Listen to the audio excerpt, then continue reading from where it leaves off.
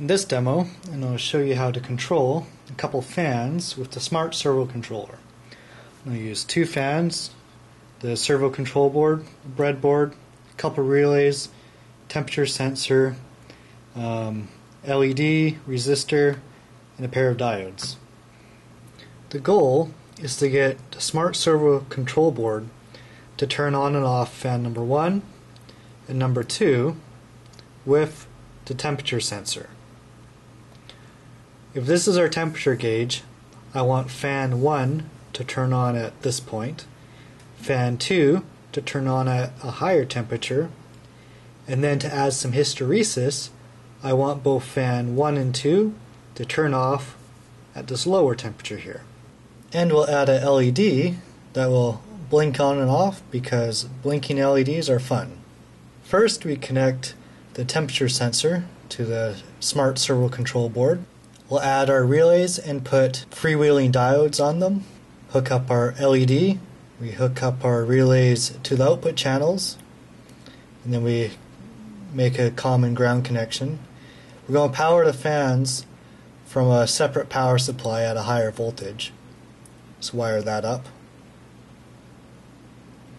Now we connect our USB, power it on, and get to programming.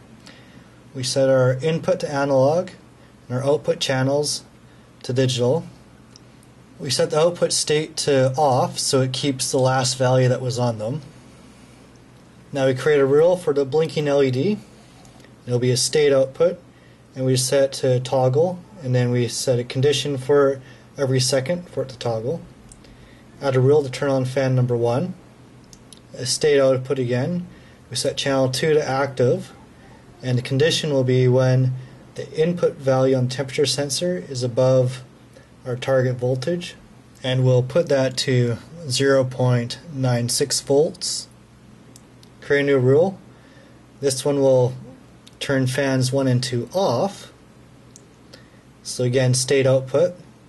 We add two output channels 2 and 3 to the off value. And this will be when the input is less than 0.8 volts. So we have a little bit of hysteresis there. Add our fourth rule to turn on uh, fan number two, set the value to 1, and then we let's set the, the turn on temperature to be higher.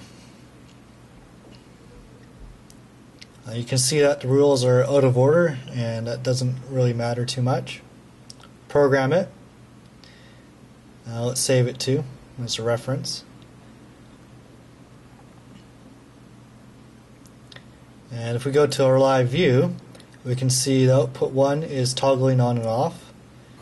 So you can see the LED blinking. And if I put a soldering iron next to the temperature sensor, heats up and turns on. You can see the voltage change. And then when I heat up even hotter, fan number 2 will turn on.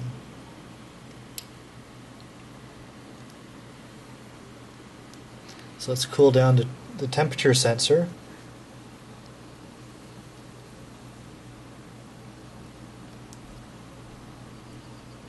And we'll see that uh, both fans turn off at the same time. Our rules worked.